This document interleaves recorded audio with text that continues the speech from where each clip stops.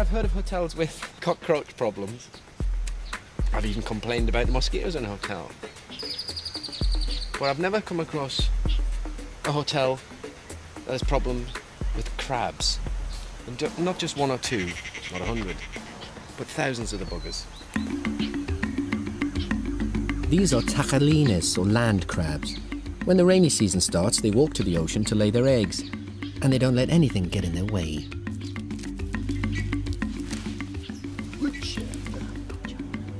I know you'll nip okay? Ow! Ow! Ah! Yeah, look at that! Still nipping me! Ay, ay, ay, ay, ay, ay! Ah! Get it off me, quick. Oh, so we got a paramedic. I'm losing. Oh, shit, man. Ah, No crabs were injured in the making of this program. Well, apart from that one I picked up. Its pincer will grow back. Eventually. This is what's called a superpod, an amazing, unusual sight. They're not just playing, they're actually, they're feeding.